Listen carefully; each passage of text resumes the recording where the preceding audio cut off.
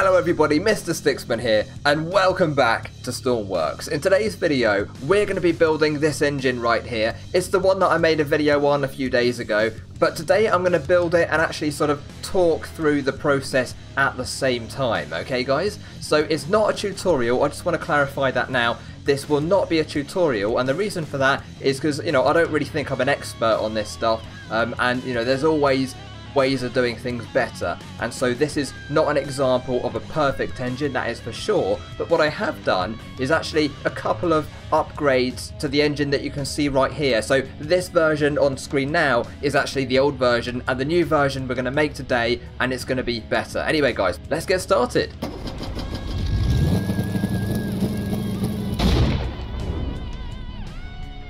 Right then, and the first thing we're going to do is put symmetry mode on, actually, because that's going to help quite a bit. And then we're going to start building the base or the stand for this engine. So that's just five blocks, I think it was.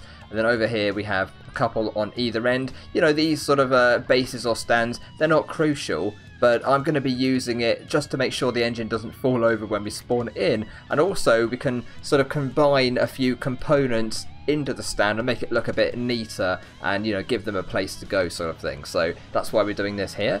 And we'll just put another couple of blocks up the top. I'll also actually convert it using our paint tool and the replace color mode over there into dark grey because that's what we had in the other video as well. Now we're going to switch off symmetry mode just so we can see a bit better what we're doing and we're going to start building the main engine itself beginning with the crankshaft actually so we're going to grab that and we are building a one by one engine, a smaller engine here. Now we're actually using three crankshafts here and the reason for that is because even though we've got two cylinders on either side and not three cylinders on either side um, I'm going to be using this extra piece of crankshaft here for extra space essentially so that's why we've got that and then we might as well add our cylinders next because that would make sense I guess so we're going to find those one by one cylinders and they're going to go at the back over here and on the other side as well, okay?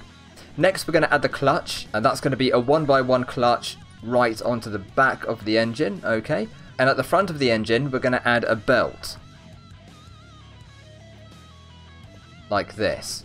Now we're going to add the fuel and air components to the engine. So if we go over right towards these cylinders here, and we're going to select this air manifold to begin with. So we're going to have four of these, okay? So there's one on either cylinder, and they're pointing inwards towards the center. Because what we're going to do is actually join them together and put them into a couple of scoops up above, alright? I'll explain this in just a moment, uh, but let's get that done first. So go and get some pipes next.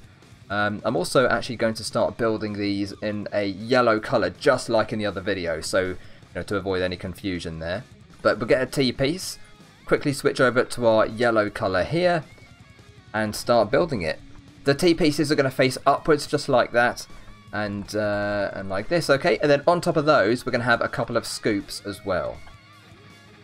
Now what's cool about these scoops is, and I didn't know if this would work, but actually if you put them sort of in line with each other like this, then the one at the back is actually still going to uh, intake air, which is interesting, even though, you know, it's kind of right up against the other one. Um, there is no actual visual gap here, but yeah, apparently air can get through to them, so that's cool. Uh, at least at the moment, things might change of course. So that works, alright. Now we're going to add our fuel manifolds next. So we're going to go around to the back of the engine, behind the cylinders, and search for manifolds again. And get the fuel manifold, alright? So that's just going to face upwards here. Of course you can face them outwards or down or whatever, um, but I'm just putting them up for now. Now in the last video on this, I actually put my fuel tanks straight onto the manifolds, which is perfectly fine. Um, you know, if you just want to sort of get up and go straight away. But of course, in this case, we can't actually refuel our engine because there's no sort of gap in between where we can put fuel in or take it out. Um, so if you want to do that, of course, you might want to have, uh, for example, just a very basic idea, you might want to have a T-piece, and then you could have a tank on that, and then you can have a fluid hose anchor on there. Now we're not going to have this set up. I'm just showing you that of course if you do want to refuel it you'll, you'll have to have some kind of filling system like that. But yeah we're just going to take this off and put it straight on to the uh, manifold for now. Alright, fantastic. And of course we want to just make sure they are set to diesel, which they will be uh, as standard when you place them down, okay? Now, the reason why I've got four air manifolds and two fuel manifolds is, and you can have as many or as few as you want, uh, but in this case right here, what we generally want is twice as much air as fuel going into the engine. Now, this is not going to give us a perfect air to fuel ratio, okay? So it's not the perfect mixture at all, but what it does mean is that we can get it running right out of the box straight away pretty much, because we have twice as many air manifolds as we do fuel, alright? And then of course we can fine tune that in the future if we want to get the exact sort of performance that we require from this engine, but this should work right out of the box and we will test it later anyway. So let's carry on for the moment. Next we're going to have a look at the exhaust for this engine and my exhausts are going to go underneath the cylinders. So first of all we need a manifold, uh, manifold corner I think it is, which is this one right here, that's it exhaust manifold corner and that's going to go here and here and then same on the other side as well. We could do it in symmetry mode of course but uh, I forgot to turn it on at the moment. There we are. Then we're going to use a couple of pipes here just to sort of bend them backwards towards the rear of the engine and actually I will put symmetry mode on in just a second. Then we'll get a a T-piece here just to connect those together like that and then we're literally going to send an exhaust right out the back just like that. All right, you can make them as long as you want, of course, um, and you can have catalytic converters if you want to have a bit less smoke, uh, stuff like that. But that's what we've just got in this version here, and that should work just fine. Next, we're going to add the cooling to this engine, alright? So what we're going to do is grab a couple of cooling manifolds here. Uh, these ones here, coolant manifolds. And I'm going to have one on either side of the engine. Now, the reason for this, really, is that these cylinders at the moment are on their own. They're standing on their own. Each pair is not joined to the other pair. They're separate. And so if I call the cylinders on the right hand side here, that's not going to cool the cylinders on the left hand side. Unless, for some weird reason, the coolant can actually travel through the air manifold, for example, uh, which I don't think it can. Uh, it might by some weird chance. But uh, yeah, as far as I'm aware, the coolant is not going to actually be shared between the cylinders. And so what we're going to do is build one coolant system which actually goes into two manifolds on separate pairs of cylinders. Anyway, I hope that makes sense. But uh, the next thing we need, of course, is actually a pump, a fluid pump, and we're going to put one down here because it's going to be operated by the engine belt, which is this thing right in front of us here. Okay, so now let's go and get a pump and we're going to use this one right here because it has the belt on it. Just chuck that under there. Okay, excellent. Now what we can see here is that here are the two manifolds up the top, right? And then here is the inlet for the pump and here is the out, okay? So what we're going to do is actually bring uh, or pull a lot of the coolant from the cylinders, okay, down into the pump. It's going to kick it out into the radiator and then it's going to go through up above these coolant manifolds and through them into the cylinders again. Then it's going to come down through the pump radiator and so on and go round in that kind of circle. So this is actually going to be a bit of a different design to what I did in the other video. This is going to be a better version. Anyway, let's get started with the, uh, the pipe work for this system here. And what we're going to do then is actually, let's put a T-piece in first um, onto the pump itself, okay, just like that. There we are. Then the two coolant manifolds are going to connect to that with corner pieces. There we go. Okay, so basically the two manifolds are going straight in to that pump there. Alright. Next, when the water or coolant comes out of the pump, it's going to go right into the radiator straight away. Okay, down here.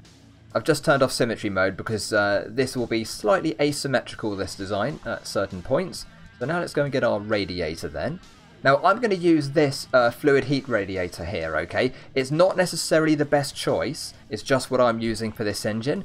Um, you'll probably find that the electric fan radiator thing here is a better option. So yeah, this is probably a better choice, but I just prefer the look of the other one, so that's why I'm using it in this case. Um, and it still works, it's not as good, but it still does actually work to a certain degree. So I'm just going to chuck that on there for now, okay guys? So our coolant is now going from the pump into the radiator and then it's going to come out over here and what we want to do is take it back up to the top and down into the manifold so it goes back into the cylinders again, alright? So we'll grab a corner piece here and just stick it on there. Then we'll get a, a straight piece as well and just bring it up and then around. Now another difference between this version and the other version is that I'm not going to have a fluid tank on this one. I'm not exactly sure about the pros and cons of adding them and, and, not having them, but what it does do is cool the engine without one. So I'm just, in this case, not including one, but I'm not saying it's the best option. We're just not going to have one on this engine, alright guys? And uh, the next thing we're going to add is a an angle corner. So I'll put that here like that. And then all we have to do now is hook it into the other manifold as well. And there we go, that is now a complete cooling system which should work at least up to a certain point. Now one thing I have noticed which is quite strange is that uh, sometimes one side of the engine is actually a bit hotter or colder than the other side of the engine by a number of degrees and the hotter the engine gets uh, the greater the difference between those temperatures are. So that's weird and that probably has something to do with uh, you know the length of the pipes on this cooling system here. But anyway, let's carry on here, and uh, hopefully everything will be fine in the end. Alright, we're almost there to be honest. Next, we're going to put a starter on, an engine starter. And here it is, modular engine starter. That's going to go on the top, so the belt attaches to the belt on the crankshaft and spins that around and starts everything up. And also, we're going to have an alternator as well, okay? You don't have to have this, of course. You don't have to have a starter either, actually, but uh, I'm just putting it on there because uh, that's what this uh, this engine is made out of. Okay, we are almost there, actually. We're almost ready to get this thing running, but underneath, I'm going to put a couple of batteries here, and that's one of the reasons why I've built this engine stand or base like this. I'll put symmetry mode on is that we can actually put components sort of underneath the engine or within the build of the engine. They're nice and tucked away, they're not very visible, but it's all in there, right? So it's a good way of you know, getting stuff into your build without it sort of being sticking out and in the way kind of thing. So that's why I've got twin small batteries here. And then also on this build, I'm going to be using a constant number as well. So let's go and grab that and I'll explain exactly why in a second. Constant number, not the on signal, but the number in this case. So we'll chuck that down there like that. Okay, actually I don't want one on the other side, so we can cut that out for now. There we go. Now, the reason for this, and actually let's go into Select Tool, select the constant number and set it to 1. Now the reason for this is that I'm going to have a number 1 going into my alternator and the clutch on the fluid pump as well, the cooling pump, okay? So basically, uh, the clutch inside the pump and the alternator uh, they're always engaged. They're always going to be charging the engine and circulating the coolant around the cooling system. Um, you don't have to do this, of course. You can have separate throttle controls for those things if you want to, but I'm just doing it this way on this build. So let's go to Logic now, and we're going to get our number one here, and we're going to put it into the alternator clutch and the fluid pump clutch as well.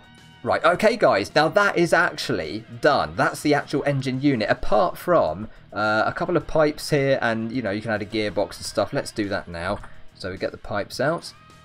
Uh, I'll change them back to dark grey. Okay, so we've got a couple of pipes there. Now, I'm not actually going to be using the gearbox today, but let's just get that colour out. There we go. Um, but I'm going to put it on there just as an example. You know, we've got a gearbox there and we've got a propeller as well. That's a large propeller on the end. Right, okay, now let's actually get some controls hooked up to this thing and try and get it running right, guys. I'm going to actually put a base underneath this thing now as well. So we'll just take this and put it over there.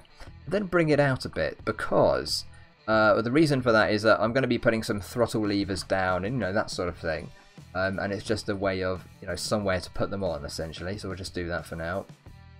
There we go, and alright, I think we're ready guys to actually put our controls in and get this thing started up. We'll turn symmetry mode off here, good, and now we'll go and search for some throttle levers.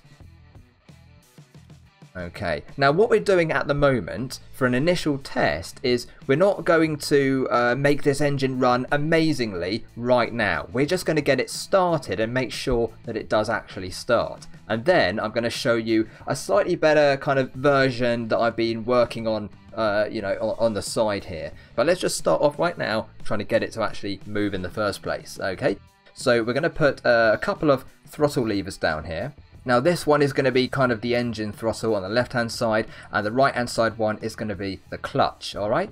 Then we're going to have a starter button as well. So it's easier to use a push button for that, so that's what we'll do here. And we might as well add some displays down here as well so that we can actually see how the engine is operating. We'll just chuck four down for now. I don't know if I'm going to use them all, but um, yeah, we'll put them there. Also, because I've put these down in dark grey, I'm going to go over to the, uh, the paint tool, go to additive, and just brighten up the displays a bit using the white. Because if you place any block down in a colour, especially a dark colour or a dark shade or, you know, black or grey or whatever, actually the, uh, the backlights here are also kind of uh, tinted a bit. They're darker and they're not as visible. So yeah, I do recommend that if you want to have a nice bright display. But you can have any colour that you choose, of course. Anyway, that's that done. Now we're going to start hooking things up. So first of all, let's go to our batteries. Okay, so batteries on the engine. We'll join the two batteries together because they can share power between them. And then one of the batteries just go into everything, basically. We'll just uh, chuck it all over the place. There we go. Lovely, that's done. Now we're going to go back into data here. And to begin with, we might as well put the start button in because that's a nice, easy one to do. The button is now connected to the starter motor there. And now we can go over to our main throttle lever for the engine. Now, because we've got four air manifolds and two fuel manifolds, we've already got you know a reasonably good ratio, air to fuel ratio, to start the engine. As I say, it's not a perfect air to fuel ratio, but it is enough to get this engine running and to actually use it. So what we can do in this case, nice and simple, is just put this throttle straight into the manifolds. So I put them into all four of the air manifolds and the fuel ones as well. Now if we had different amounts of air and fuel manifolds, we might have to use um, a multiply logic gate or sort of, sort of a, you know a function block or something just to adjust the numbers here or have separate throttles to make sure our mixture is okay so that we can actually start up the engine and actually get it running in the first place. But because I've got this number of manifolds here, we can get it running with one throttle lever straight into all of them. So I hope that that makes sense, guys. Again, you know, it's not necessarily the best way of doing it, but it is enough just to get the engine running and started so that we can see that it actually works. But anyway, let's carry on here, and in a minute we can get it running. So next we're going to actually um, link up the clutch, I think. Okay, so we'll go around here. There is the clutch at the back of the engine, and that's going into that throttle lever there. Also, I will label these. I'm going to reduce the sensitivity on the clutch to around, I don't know, like 50% because it just makes it less uh, prone to stall the engine. Because if you chuck a clutch on straight away it, when the, uh, the engine's not very powerful or low on revs, it might be a bit too much for it, so we're going to ease it in a bit more gradually there. Also, on the throttle over here for the engine, I might as well start it up. Now, I've tested this before, of course, and I know that uh, what we want is 0. 0.06. So 6% throttle is enough just to get this thing running. Uh, it's very sensitive. So this definitely isn't the best setup, but it will get it running. Also, we can just label that there as well. And I am going to reduce the sensitivity here a lot actually. Let's put it down to like 10% because it really is very sensitive in its current setup. Alright? Okay, now we better put in some data into these displays right here. Okay, so I'm going to add one more thing onto our engine actually, which I forgot to do earlier, but that's going to be a temperature sensor so that we can of course read the temperature on a display over here. Um, so what I'm going to do is go around underneath the engine and I'm going to swap out one of the uh, blocks of the stand for a sort of temperature sensor block. And that will be this one here, the modular engine temperature sensor. So it just goes straight onto the crankshaft like that, okay? And now we can literally go into logic here, select it, or select its node, and plug it straight into the top display. Also, we're going to get RPS, which is from the crankshaft itself. We're going to put it into the display underneath. And then we're actually going to do the fuel. Now, to be honest, what I could do is get a couple of gauges. So I might as well do that. Here we go, we use a gauge display for the fuel. Um, which way around do they go, actually? I can't remember now. Is it that? I think it's the other way. Is it that way? I can never remember, but I'm assuming that's the right way anyway. We'll now select them, and it's going to go up to about 21 litres per tank. Uh, I believe that's that's how much fuel we've roughly got in each one. So I just set it to 0 to 21 like that. And then we'll go back into logic here and literally just put the uh, fluid tanks into those gauges. Next I'm going to put the battery into one as well because then we can check if the alternator is actually working. Now we don't need to put both batteries in because as they're linked together they're kind of sharing the same power and therefore with these batteries I mean you can set up separate dials for them if you want to but uh, I don't think we have to as far as I'm aware. So I just put one battery in and that's going to show us our like overall battery charge. So that's going down here and I will label that one. Make sure I don't forget to label these as well. And then I will of course just uh, give these power. I don't think they need power, that's just for the backlights. But I'll just make sure everything's got power anyway, then we can't go wrong. Now, here's going to be the moment of truth, alright? We're going to spawn it in and see if it works. And if it doesn't, we'll have to make a quick fix. But I reckon this might work. So here's the temperature at the top, okay? RPS underneath, and then battery down there. You can see that our fuel tanks are full up. We've got 21.35 litres in each tank, so we can see how quickly that drains. Um, and also the battery, as we start the engine, it should drop down a bit. Okay, and then the alternator, which runs off the belt, um, should actually charge it back up to full again. So here we go. The throttle is on 6% and zero clutch at the moment. Let's see. It's running. Right, okay, so we've got like 8 RPS, 9 RPS. That's going to start increasing a bit more and more as we continue here until it reaches some kind of ceiling.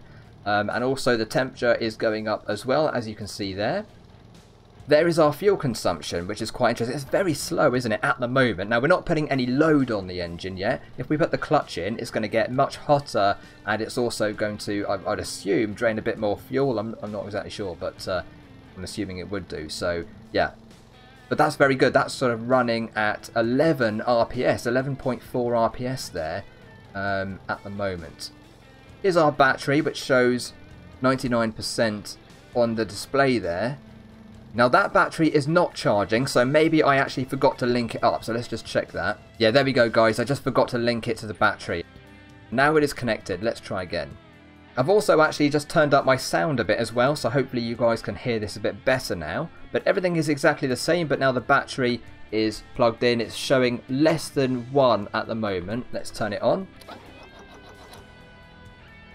And now we can see the number for the battery is increasing until it gets up to 1, so it is definitely charging. Okay, so now we know this engine works pretty well, right? It starts up. Um, we'll just check the clutch actually as well. It's probably going to stall it, to be honest. We'll give it a bit more throttle. Here we go, the smoke's coming out as well. Okay, please don't blow up. Should be alright. Where's the temperature? There we go, 20, 27 degrees. Now this is a bit of an effort, isn't it, to get this going. So that's why in a minute, the next version of my sort of control setup for this engine is going to be much better. We won't have to mess about like this, basically. Let's bring that down a bit now. But the uh, yeah, the propeller is spinning quite nicely. Uh, you can also, of course, see the data on the cylinders here. Air fuel ratio 13 to 7, you can see the temperature there, the efficiency. The exhaust is 100%, which means that's fine for now. Uh, we've got nothing to worry about in terms of exhaust.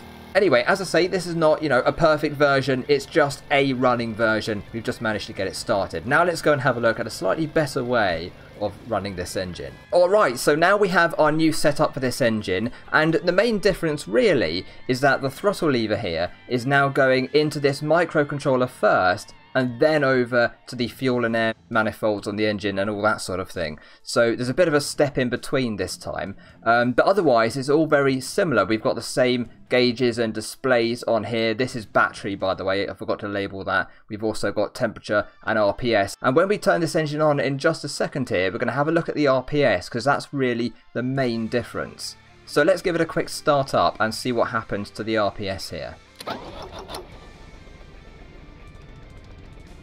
Now what we've seen there is the RPS very quickly got to a certain amount and then stopped. So 3.87, it's now staying there at that level. Whereas on the old version of this setup, uh, the RPS would still be climbing gradually and there wouldn't be much control over it. Now the reason why that is, is because the throttle isn't just saying we want to put more power into the engine, it's actually saying we want to try and get to a certain amount of RPS instead, a target RPS value. So if we now increase our throttle a bit, this is going to very quickly increase as well and then just stay at a new level. So let's try that. So now 9.1 on the throttle and we've got 7.94 here and it's already there at that level and it's stuck there now. Again we've just increased it to 13.7 and now it's stuck at 12.48 so then if we go back down again it's the same thing. It very quickly goes down and achieves that new value. Now the problem is and I'm not quite sure how to adjust this guy so feel free to let me know how to improve this setup. But basically say I set my throttle to 9.2 as it is right now.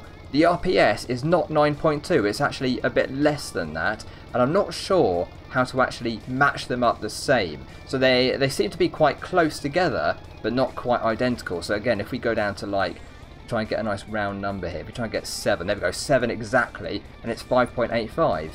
And same up, really high in the RPS, I think the maximum I've set this to is 30, there we go, 30 on the throttle, 28.48 on the display. So yeah, I'm just not sure why it's not exactly matching up. Maybe some of the RPS sort of gets, you know, lost as the whole system is working and losing a bit of power. I'm not too sure. But uh, yeah, if anyone knows, do feel free to uh, let me know if I can improve that somehow.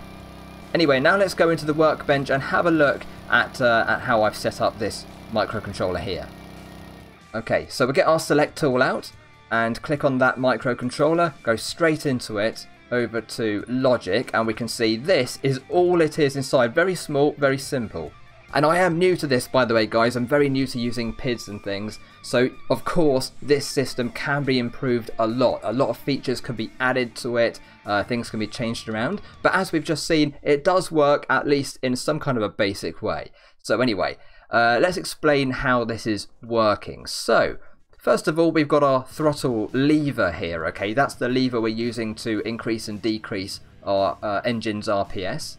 And that is going straight into the set point. So basically the throttle lever is trying to tell the engine how much RPS it wants it to produce, okay? And then down here, we have the process variable on the PID, and that is the RPS from the crank. So essentially, you just put the uh, the RPS value into the PID here, and therefore it knows that this is what we're trying to adjust with our throttle. The next stage is the constant on signal and all that does is make sure that our PID is always on and is always working. Okay, so when all of this stuff has gone into the PID, now I've got some values here and I have played around with these values a bit. I don't quite understand all of these values properly, so you know it's not really uh, something I can comment on too much here, but that's just what I'm using at the moment. And then from the PID, of course, it's going straight into our fuel and air manifolds. And really, it's just as simple as that, to be honest. But of course, as I say, this system can be improved a lot. We can add a lot more features to this, make it more complicated, make it more accurate perhaps at the same time. Um, but this is just what I've achieved so far, and at least it does work to some degree. Anyway guys, that's all we've got time for in this video. Thank you so much for watching. Thank you to everyone who smashes the like button. I really appreciate it. Thank you to everyone who subscribes, anyone who leaves a comment, just anyone who watches any of my videos at all. It's always an absolute pleasure guys. Thank you so much. Take care and I'll see you in the next one. Bye everybody.